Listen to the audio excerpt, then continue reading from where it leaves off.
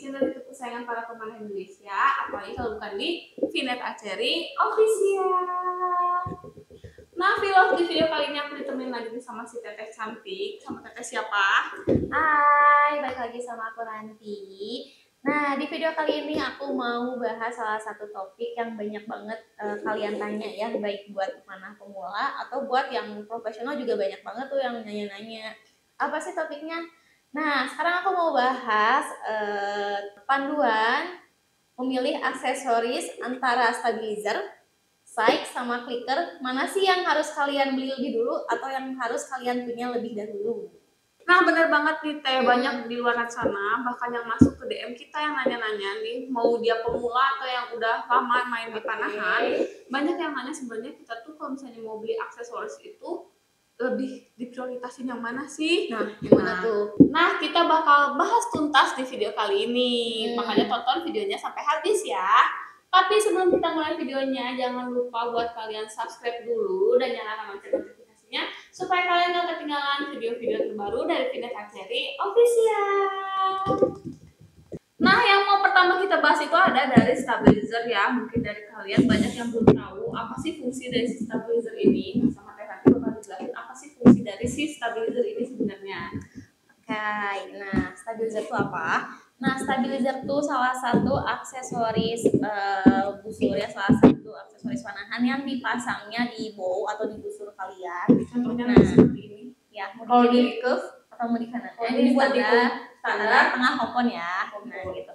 Nah, stabilizer sendiri ini berfungsi untuk membantu meredam eh, getaran pada bow kalian saat kalian apa merilis atau menembakkan si panahnya gitu. Nah, jadi secara intinya si stabilizer ini tuh berfungsi untuk membantu eh, menyetabilkan atau lebih mengurangi getaran pada bow kalian. Jadi nanti tembakan kalian tuh lebih seimbang, lebih akurat juga gitu.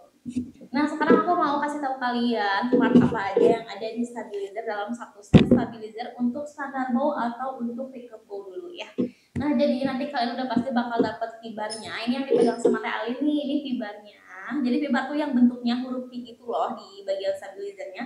Nah, lanjut ini ada extender pastinya. Nah, kalau untuk extender tuh pasti dia pendek kayak gini ya, paling pendek gitu dibandingkan sama rod yang lainnya. Jadi ini tuh eh, extender tuh penyambung dari riser ke stabilizernya. Jadi riser, extender, fibar, baru si stabilizer stabilizernya. Nah terus kalian juga bakal dapat dua eh, short stabilizer karena kan tadi fungsinya membantu menyeimbangkan ya. Jadi kanan kirinya harus sama gitu. Jangan sampai kirinya 10, kanannya 12 misalkan gitu. Nah terus pasti juga bakalan dapat satu long stabilizernya ya. Nah ini yang panjang ke depan itu loh sesuai di gambar pokoknya ya. Nah, ini part-part yang bakal kalian dapat dalam satu set stabilizer standar bow atau the bow. Beda lagi kalau misalnya kompon ya. Betul, beda lagi kalau kompon. Kalau kompon tuh cuman ada satu long sama satu shot. Dan fibernya dia misah ya. Betul, dan fibernya dijual terpisah biasanya. Jadi tidak dibuat satu set. Nah, benar banget ya Teh. Jadi si stabilizer ini bisa banget ngebantu kalian untuk melembutkan tembakan Betul. kalian dan menyeimbangkan busur kalian pastinya. Jadi walaupun bentuknya simpel kayak gini, ternyata stabilizer itu punya fungsi yang berguna banget Betul buat ya. kalian. Kita lanjut Teh. Lanjut Lanjut. dong. Nah, lanjut nih Teh di depan kita. Sekarang kita udah punya side nih. Nah, kalau misalnya si stabilizer tadi membantu tugasnya Menyetabilkan ya. busur. Nah, kalau misalnya si side ini fungsinya buat apa sih Teh? Oke, sekarang aku mau bahas side. Nah, untuk side sendiri ini dia punya peran penting banget ya. Apalagi buat para pemula. Nah, nah jadi eh, side ini berfungsi untuk membantu kalian mengarahkan bidikan anak panah kalian ke target gitu. Jadi yang pastinya bisa lebih akurat ya. Nah, apalagi buat para pemula nih, ini pasti berfungsi banget karena ya tentunya kita bakal lebih sulit ya kalau misalkan ngebidik hanya dengan 100% feeling gitu. Jadi, nah lebih disarankan memakai side.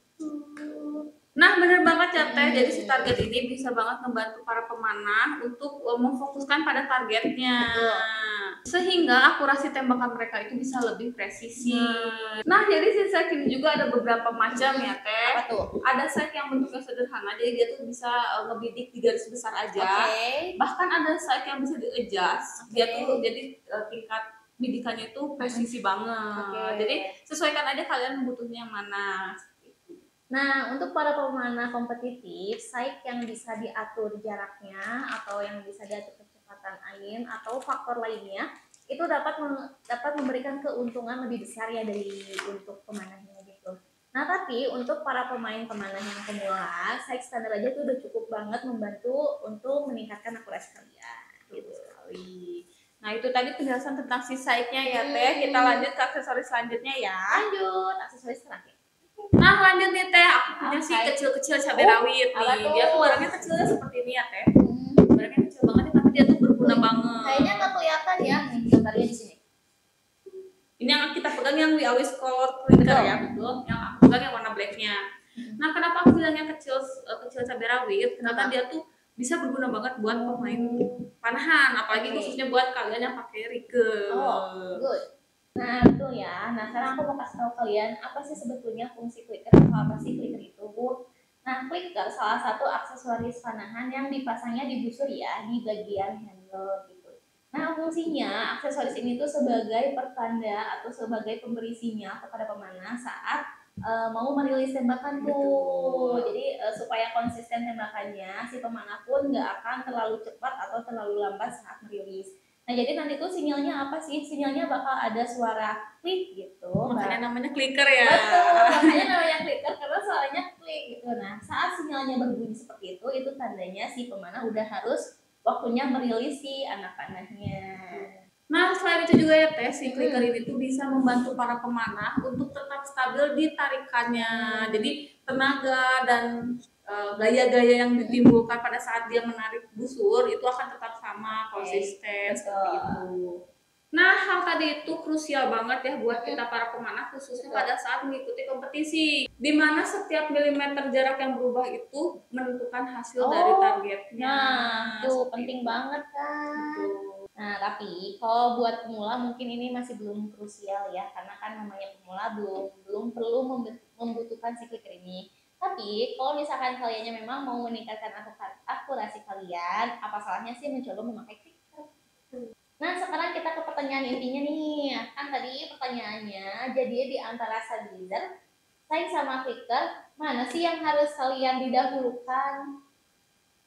Nah, jawabannya itu sebenarnya ada di level dan kebutuhan kaliannya sendiri. Kalau misalnya kalian baru pemula nih, terus Hmm. kalian mau beli di antara tiga aksesoris ini mau beli yang mana lebih dulu nih?